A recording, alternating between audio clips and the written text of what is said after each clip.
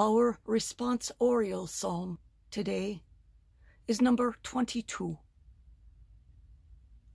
And the refrain I will praise you, Lord, in the assembly of your people. Repeat. I will praise you, Lord, in the assembly of your people. I will fulfill my vows before those who fear him. The lowly shall eat their fill. They who seek the Lord shall praise him.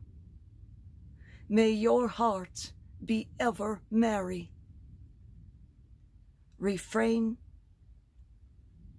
I will praise you, Lord, in the assembly of your people. All the ends of the earth shall remember and turn to the Lord. All the families of the nations shall bow down before him. Refrain I will praise you, Lord, in the assembly of your people. For the dominion is the Lord's, and he rules the nations. To him alone shall bow down all who sleep in the earth. Refrain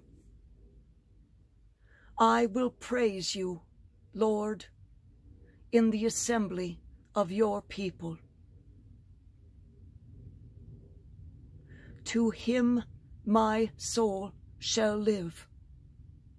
My descendants shall serve him.